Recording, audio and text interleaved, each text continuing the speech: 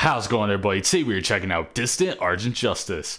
This band goes so hard. I've only heard like a couple tracks from them, at least from what I can remember. I've heard like Exofilth, Heirs of Torment. Um, I know I've heard a few others. I'm kind of having trouble remembering the names of them right now. But um, I haven't heard a track from these guys that I haven't liked. I mean, they go really hard. They just got that nasty, like, just slowing it down. Like, they're the epitome of that, like, slow the breakdown even further and just make it more and more nasty. Um, this is one of those bands that really emphasizes that, and honestly, I think they pull it off very well. But um, yeah, this track has like 16 different vocalists on it. I think it's from like 13 different bands total if you include Distant. So that's a lot of people. Uh, sounds like they're trying to fight the big six right now, trying to have a little battle. But um, no, seriously, I'm so stoked to check this out. And yeah, without further ado, let's get right into it.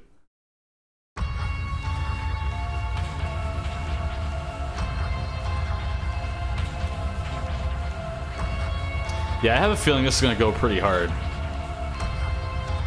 And this artwork looks uh menacing.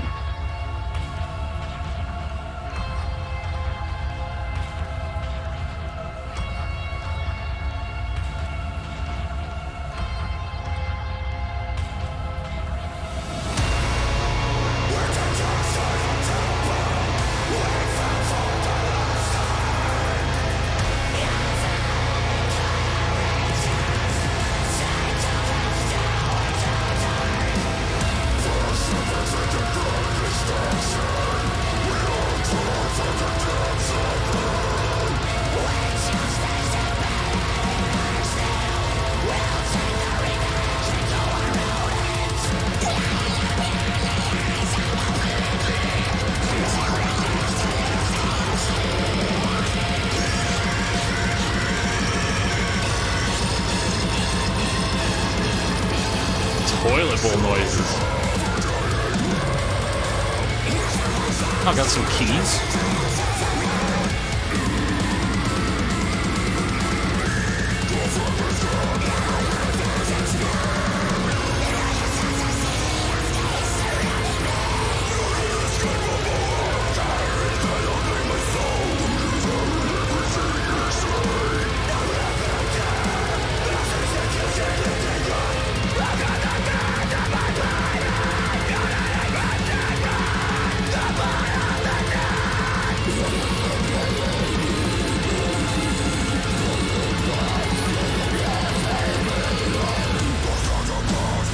There we go.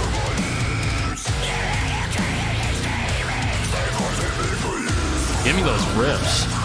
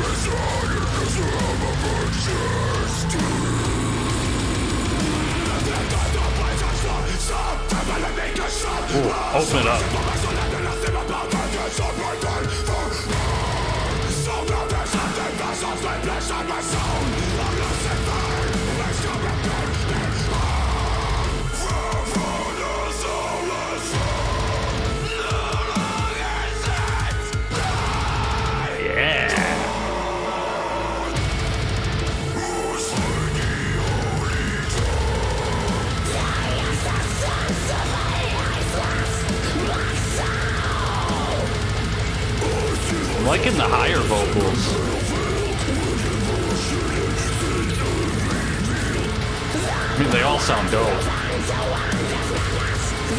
Feels like it fits, though.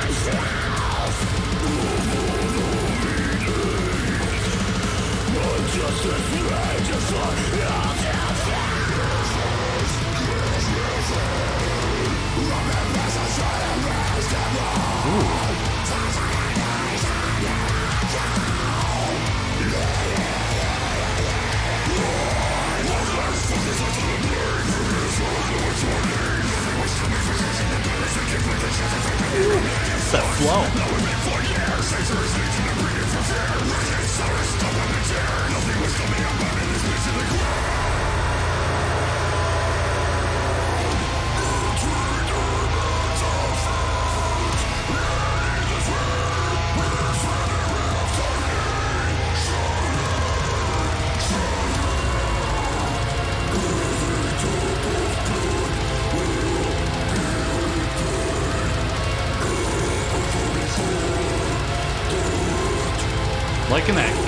tone, that lead. Ding.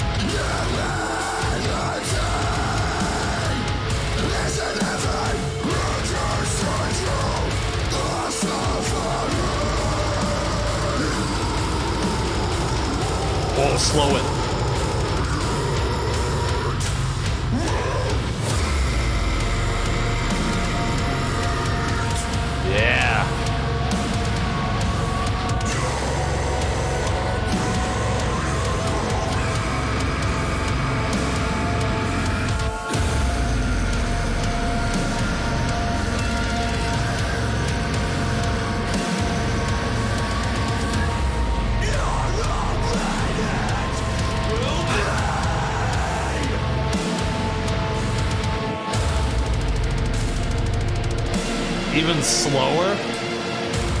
Yeah.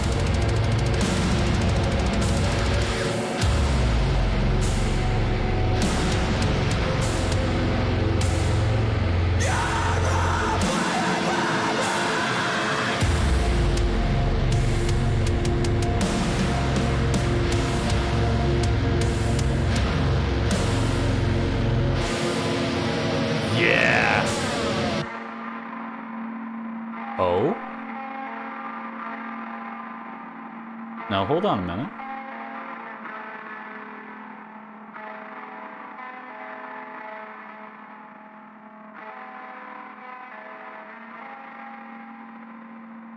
Haunting.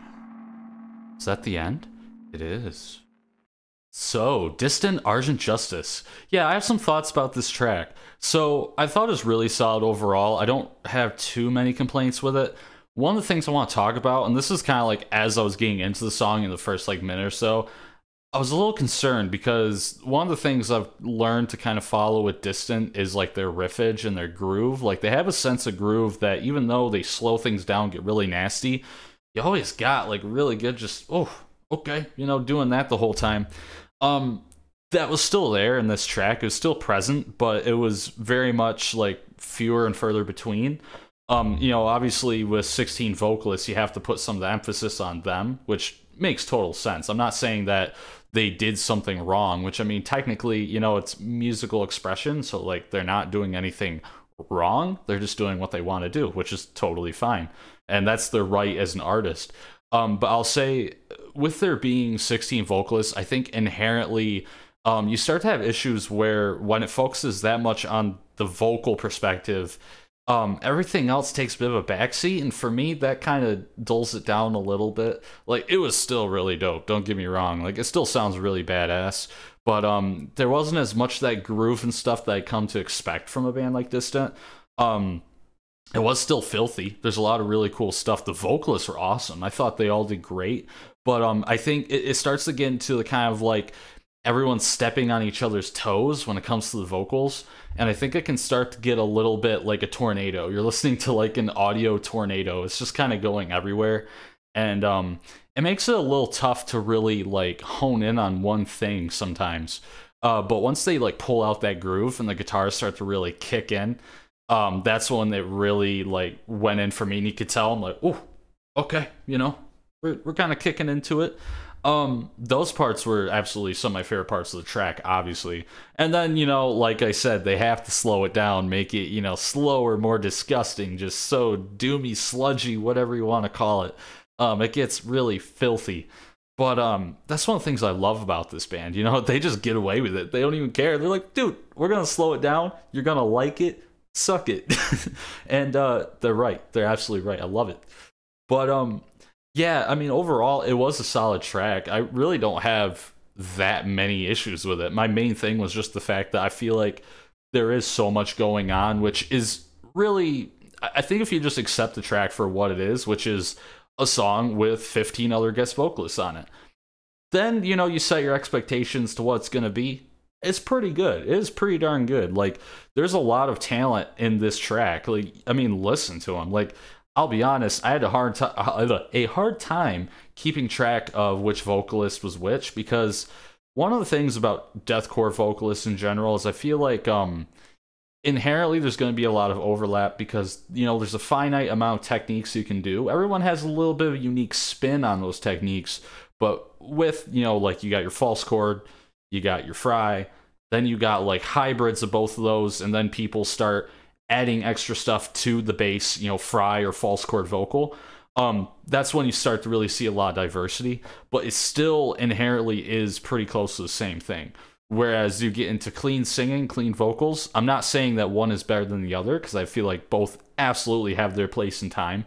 But with clean singing, there's a lot of other variables that can drastically change how someone sounds, especially when you get into like vibrato, someone's accent, which you could claim for like you know uh, screams and stuff too. You know, if you're listening to someone that's like uh, a good example is um like Vildhjarta, like Swedish.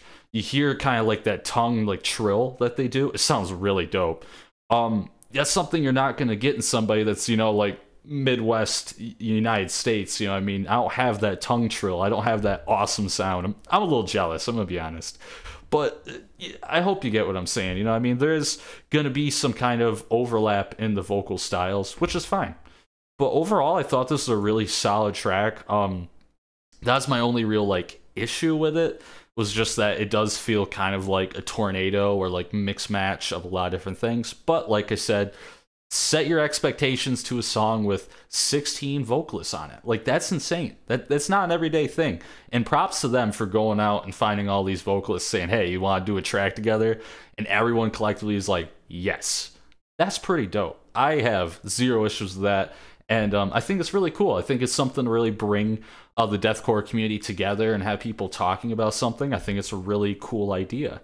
But uh, yeah, what did you guys think about this track? Did you like it? Did you not like it? Leave a comment down below. If you have any recommendations, you can leave that down below as well. As always, if you guys enjoyed this video, make sure that like button, subscribe, hit that notification bell, and as always, you guys take it easy.